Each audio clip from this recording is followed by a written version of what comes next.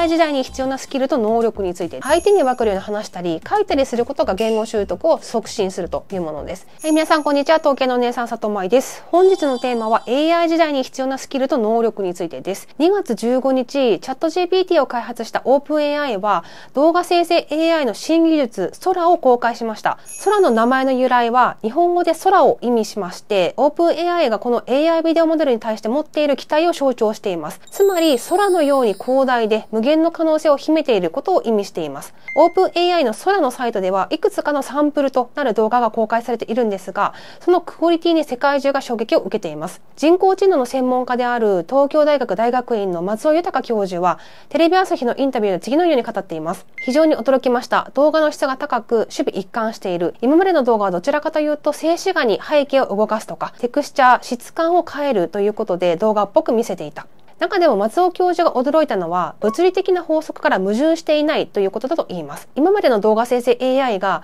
パラパラ漫画のように一枚一枚の絵をつなぎ合わせて動画を作っていたものに対して空は入力されたテキストから物語を考えその物語を物理法則に当てはめて表現できることが画期的だということです。先日の動画でもこれからは動画文化から AI 文化に移行していくという解説をしました。AI でも驚くような技術進化が続き文化が変わっていこうとしているこの時代に適応していくためにはどんな知識やスキルを身につけたらいいのか調査や私の経験をもとに解説していきたいと思います。今日のポイントは3つです。1つ目 AI 時代に必要な能力とは。2つ目学習効果を最大化する方法。3つ目 Think Bit Smart Small この3点についてデータ元に解説していきます。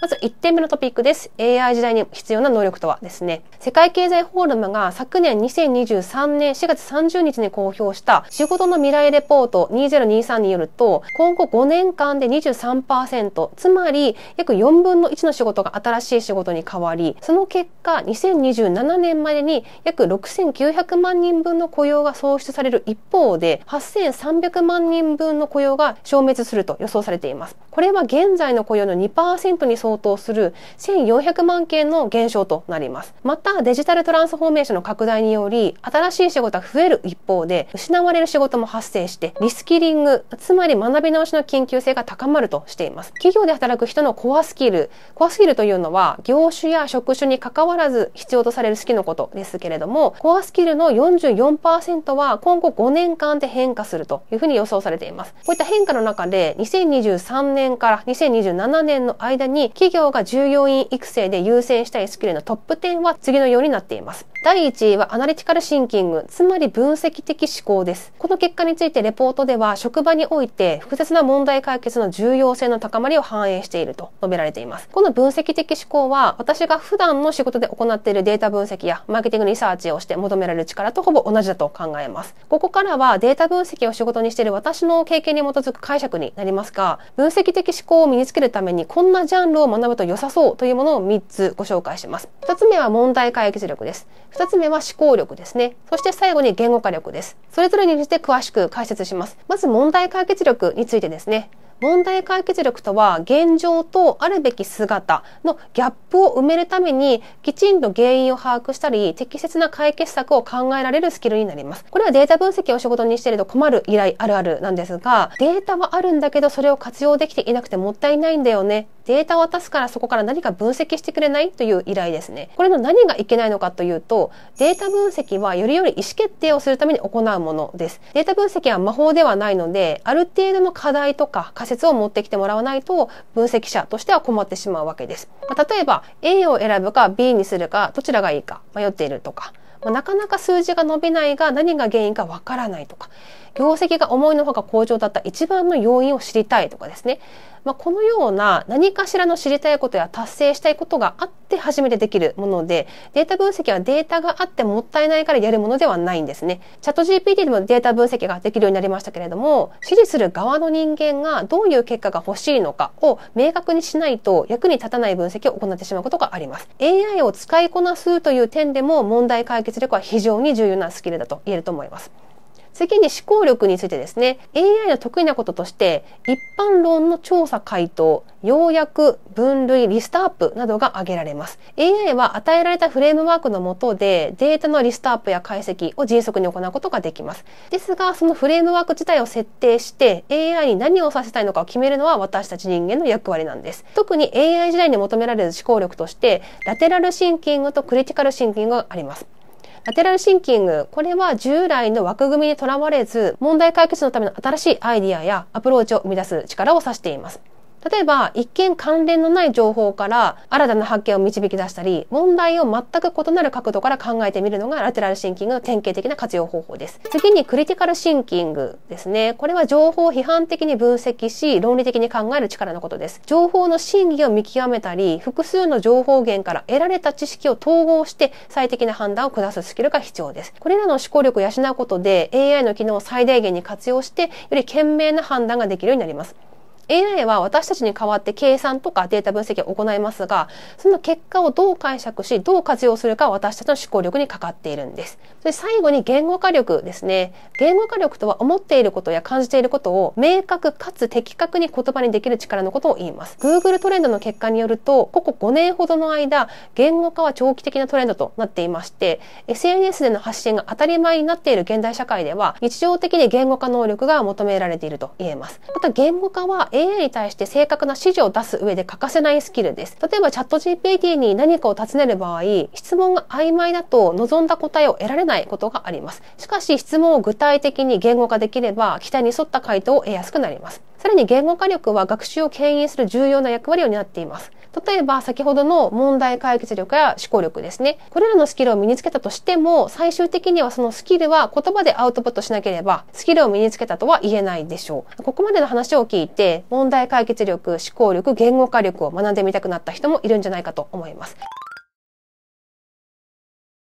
それでは2点目のトピックです。学習効果を最大化する方法とは？まず一つ目が複数の科目を同時に学ぶということですね。学生時代を思い出してほしいんですが、毎日時間割があって、1日にいろんな科目を学んでいたと思います。なぜこれが有効かというと、異なる分野の学びが互いにフィードバックし合い、相乗効果を生み出すからです。例えば、国語の語彙力が向上することで、社会科の内容理解が深まることがあります。また、数学で学んだ論理的思考が理科の実験を解析するときに役立つというケースもあります。このように、一つの分野での学びが予期せぬ形で他の分野にもプラスの影響を与えているんです。二つ目のポイントが、自分の言葉でまとめることですね。授業での板書をそのまま書き写すのではなくて、聞いたことや学んだことを自分の言葉で解釈し、まとめることが重要です。これにより、単なる記憶から理解へと学びが深まります。自分の抱えている問題が学んだことで解決できそうな瞬間、これを私はアハ体験と呼んでいるんですが、このアハ体験をまとめることも有効です。このプロセスを通じて学習内容が自分の経験や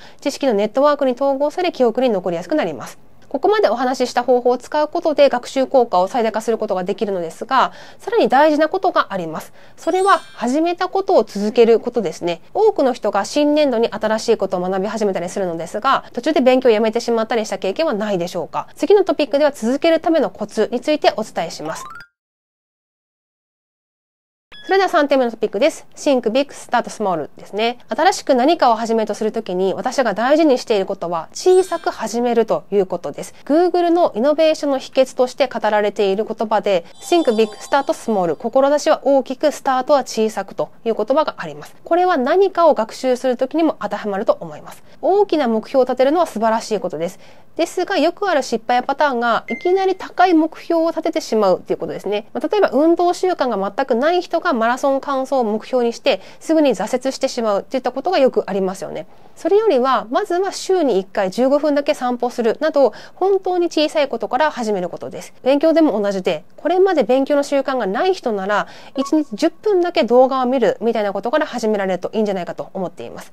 また勉強を小さく試すことのいい点は自分の向き不向きであるとか先生との相性を試すことができることです私も数学アレルギーを克服できたのは高校校時代に教え方が上手い先生に出会ったことがきっかけでした。いい先生に出会えるまで小さく試すこともおすすめです。勉強を小さく試すのにおすすめなのがオンライン学習プラットフォームユーデミーです。一つ一つの講座が買い切り型の動画講座で一度購入すると視聴期限なく利用できます。また豊富な分野の講座もあります。ユーデミーというとプログラミングのイメージが強いかもしれませんがデザイン、マーケティング、ビジネス全般、趣味などの分野も豊富でその分野のプロからいつでも学ぶことができます。自分に合った講師を見つけるのに最適です。もしかしたら動画学習なら YouTube でもいいんじゃないかと思う方もいると思いますが YouTube と Udemy のプラットフォームの違いを知って使い分けると良いと思っています YouTube 発信者としてはたくさんの人に動画を見てもらいたいのでできるだけ多くの視聴者に好まれるようなテーマや題材ばかりになりがちでそのために体系的な学習がしづらいという側面があります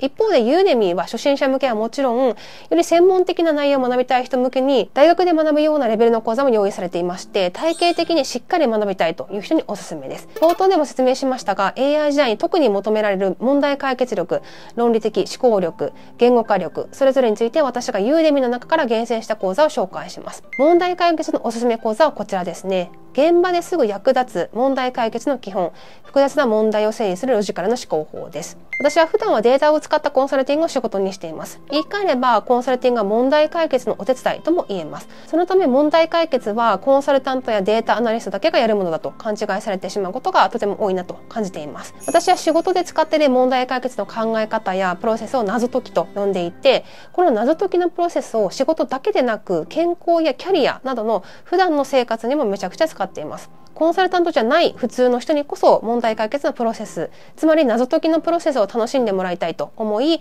YouTube で発信しているんですが根底にある問題解決のプロセスを YouTube という媒体で全て解説するのが難しいのも実情です。一方で問題解決を取り扱っている専門の書籍や講座の多くが初心者には難しくて複雑な話になりがちです。しかしこの講座は問題解決のプロセスを初心者でも分かりやすく簡単な言葉で解説しているので問題解決を初めてて勉強する人。問題解決のプロになりたいわけじゃないけどそのプロセスや考え方を日常生活に生かしていきたいという人にとてもおすすめだと思って選びました。また一つ一つの動画が2分や3分、ま、長くても14分程度で短く区切られているのもおすすめのポイントです。動画学習が初めての人学習を習慣化したい人が少しずつ取り組むのにとてもいいと思っています。続いて思考力のおすすめ講座はこちらです。当たり前を疑い客観的に考えるクリティカルシンキングの基本マスターコースです。この講座はクリティカルシンキングという思考法について学べる講座です。世の中には様々な思考法がありますが、その中でも私はクリティカルシンキングを学ぶのが良いと思っています。クリティカルシンキングは凡人が点差に勝つための思考法とも言われます。偏見や思い込みにとらわれずに判断ができるスキルがクリティカルシンキングで、このスキルを使うことで情報を深く分析して合理的な判断を下すことができます。頭の良さの指標である IQ はほとんどが遺伝で決まる脳のスペックなんですが、クリティカルシンキングに関しては後天的にトレーニングすることができます。この講座をお勧めする理由としては、事実と解釈を分けるとか、数字データを疑うということに加えて、思考の偏り、つまり認知の歪み、認知バイアスについても取り扱っていることにあります。私の YouTube でも以前から認知の歪み、認知バイアスについて何度も扱っていて、認知バイアスの回は毎回たくさんの反響をもらっています。この講座は認知バイアスをクリティカルシンキングという観点から説明していて、まさに私の YouTube を見てくださっている方に興味を持ってもらえそうだという視点からおすすめ講座として今回ピックアップしました。そして最後に言語化のおすすめ講座はこちらです。お子様の偏差値30アップを実現。大人のための国語学習塾ですね。読解力や言語化力が大事という話はこのチャンネルでも以前からしていて興味がある方も多いと思います。国語力を身につける上で私がおすすめしたいのは先に書くことだと思っています。第二言語習得におけるアウトプット仮説というものがありまして、これどんな仮説かというと、相手に理解可能なアウトプットをすること、つまり相手に分かるように話したり書いたりすることが言語習得を促進するというものです。あくまで私の経験の話になるんですが、この仮説は日本人が日本語を習得するときにももしかしたら当てはまるかもしれないと思っていました。この講座の先生が小論文講座をきっかけに読解力も含むむ国語力アップを実現したという話を聞いて、まさにアウトプット仮説を体現したような講座だと感じたので、今回おすすめ講座としてピックアップしました。ユーデミーでは本日2024年3月28日から4月1日までの間、新生活応援セールとして対象講座が1講座1500円からというコスパで学べます。ぜひこの機会にユーデミーで AI 時代に必要なスキルの勉強を小さくスタートしてみてください。最後にぜひ使ってほしいユーデミーのおすすめ機能をご紹介します。ユーデミーでは講座を視聴しながら直接メモも取ることができます。このメモ機能によって学んだ内容をすぐに自分の言葉でまとめて理解を深めることが可能です。さらに学習した内容について感想を誰かに伝えることも言語化のトレーニングになり、理解をより一層深めることができます。ユーデミーでは学んだ講座に対してレビューを書くことも推奨されていて、この機能もアウトプットの機会、言語化の機会として活用できると思います。学習のアウトプット機能が充実しているっていう点が YouTube と違ってユーデミーは圧倒的に優れていると思います。ということで今日は AI 時代に必要なスキルと能力について解説しましたがいかがでしたでしょうか？このチャンネルでは確率統計を使って世の中の謎を解くリアル謎解きを体験していただく教育エンタメチャンネルです。高評価とチャンネル登録よろしくお願いします。それでは次の動画でお会いしましょう。バイバイ。それでは最近気になっていることとか今後やってみたいことなどをつぶやくさとまいブームのコーナーでございます。今回のテーマからはちょっと外れてしまうんですが、個人的におすすめのユーデミの講座をご紹介します。それがこちらの顧客ユーザー理解のためのユーザー調査講座アンケートインタビュー行動観察調査からニーズを探るですね、まあ、結構な大企業でもおかしなアンケートの取り方をしている会社があるっていうことはあの以前の動画でも解説した通りなんですけれどもアンケートの設問の作り方を分かっていない人って結構多いんですね。でただ現実問題としてこうちゃんと教えてくれる人もいないよねというふうに思ってたんですけれどもなんと今回ですね、えー、ユーデミの講座の中にアンケート講座があるのを発見してしまいました。アンケート講座は意外外と学べるところで少ないかなと思ってます。この価格で受講できるのもかなりおすすめですし、お客様の声をちゃんと聞けていない会社って多いと思うので、気になる方はこの講座もぜひチェックしてみてください。ユーデミでは本日2024年3月28日から4月1日までの間、新生活応援セールとして対象講座が1講座1500円からというコスパで学べます。新年度のこのタイミングにシンクビッグスタートスモールで勉強を始めてみるといいんじゃないでしょうか。